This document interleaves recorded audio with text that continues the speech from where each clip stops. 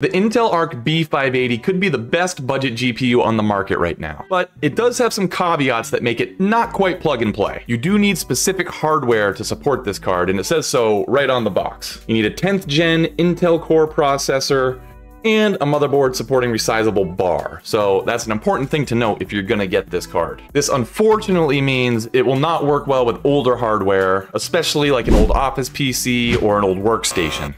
Trust me, I tried to install it into a Lenovo ThinkStation P520, link to that video in the description below, and it didn't work out so well. So today I'm going to pair the card with my little mid-range build here, which sports an Intel i5 12600KF CPU, 32 gigabytes of DDR4 RAM, 1 terabyte Gen 4 M.2 SSD, and a 750 watt PSU. My current GPU in here is an RX 6800, which has been a great pairing for this build, but I'm curious if the B580 can keep up with the performance I'm used to with the 6800. So just a quick swap of the GPUs and I'm able to fire it up to see what we're working with. The first thing I need to do is download the drivers from Intel's website, which is a quick and easy process.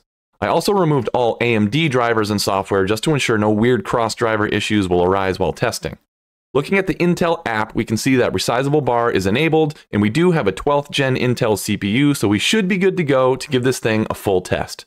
So let's jump into some games to see how it performs. Starting off with the brand new Monster Hunter Wilds just released today at the time of recording this video. This is a great initial test for the B580 since this is a new title, so it'll be interesting to see if it can keep up performance-wise. One thing to note, I tried recording this with OBS and the Intel GPU's AV1 encoder, but it came out a stuttery mess since I was overloading the hardware by trying to record and play the game, all with the B580. I will get more into content creation with this card a little bit later in the video, but for now, as you can see by the numbers, we're getting a solid FPS, so this game is definitely playable with this card. So we're in 1440p and I do have FSR upscaling enabled so that I can use frame generation to hit these numbers. And if I want to absolutely maximize performance, I can bump things down to low settings and performance upscaling, which gets me in the high 70s, low 80s range, which is perfectly acceptable. You just give up some of that graphical quality. If we then maximize quality by using both high settings and quality upscaling out in the open world here, still very playable and looks good, getting around 60 FPS. So while not the best performance in the world, I was pleasantly surprised with what this card could do with a brand new game, especially when these days there are typically all sorts of performance issues at launch. Next, we're taking a look at God of War Ragnarok in 1440p high settings with XeSS upscaling set to Ultra Quality Plus. And I gotta admit, things look great. Solid mid 70s FPS, everything looks smooth, and for a game like this, you don't need to go much higher in FPS to notice a difference in my opinion. But to fully max this out, I did enable FSR frame gen, which works with XeSS upscaling in this scenario, and you can see we gain about 20 or so frames here, getting in the high 90s, low 100s, so this card absolutely crushes this game. Hogwarts Legacy is the next game in the list, a game that is now two years old, which is crazy to think about, so this card should, in theory, have no issues running it. We start off in 1440p Ultra settings with XeSS set to Ultra Quality Plus. And we're just going to run around Hogsmeade here for a little bit, as this can be one of the more performance impacting areas of the game, with all the NPCs around, and everything seems to be running great getting high 60s to low 70s in FPS, no stutters or dips, and I will say, for whatever reason, the hair on the characters looks way better with the B580 than the RX 6800. With the 6800, everyone's hair looked noisy and spackly, which was just really annoying, especially during cutscenes, but with the B580, all the hair was smooth and rendered properly, so points to the B580, and points to Ravenclaw, best house in Hogwarts. There, I said it.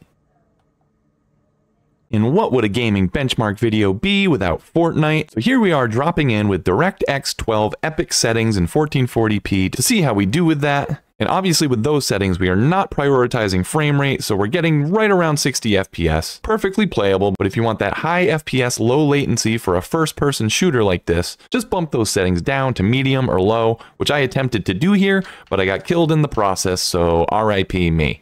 And last up, we have Elden Ring. We are in the Shadow of the Erdtree DLC area, which is a bit more demanding on the GPU, and I actually did record this using OBS, which was very stuttery unless I walked very slowly out of the door, which you can see I'm doing here. Elden Ring does have a 60 FPS cap on the game, which you can't get around without mods, so really all you're asking for here is a steady FPS and the game will look and feel great. This is on maximum graphics settings, so without OBS running, you can easily achieve that steady 60 FPS, which is really all you can ask for with this card. Jumping into benchmark scores, I started by using 3D Mark Steel Nomad, which is apparently the new standard for 1440p benchmarks, but I gotta be honest, I don't know what this score of 3046 means without having anything else to compare it to. So I ran good old 3D Mark Time Spy as well to see some scores that I'm more familiar with, and wow, was I impressed with the score of 13,924 and a graphics score of 14,329. From what I know, this is a better score than the RTX 4060 would provide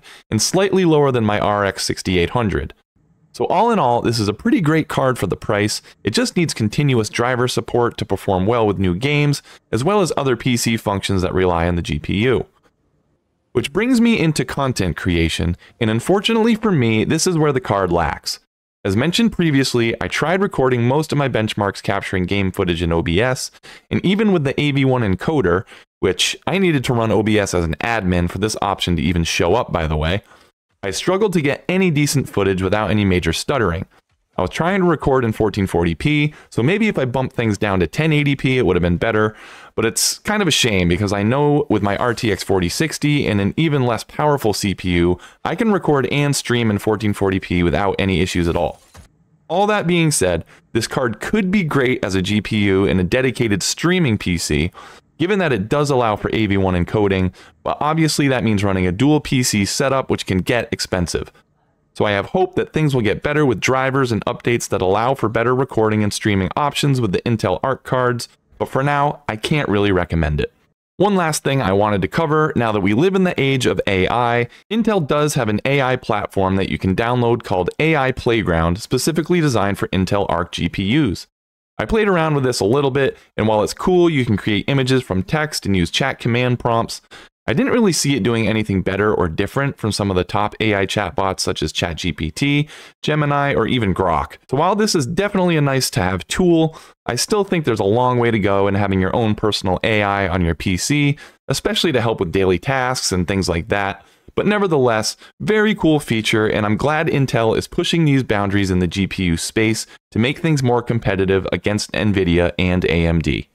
So that's it for this video. Overall, I think this is a great card. I think it's a step in the right direction for Intel and for the GPU market in total. Having a more budget option like this is great for competition, and I think with extended driver support and updates that Intel can make to support their Arc series and their Battle Battlemage series of cards, things could be looking good in the near future for this type of GPU. So let me know in the comments, is this something that you would get? Are you in the market for an Intel Arc GPU? Very curious to see what you all think, so be sure to leave a comment, like the video, and subscribe, and I will see you all in the next one.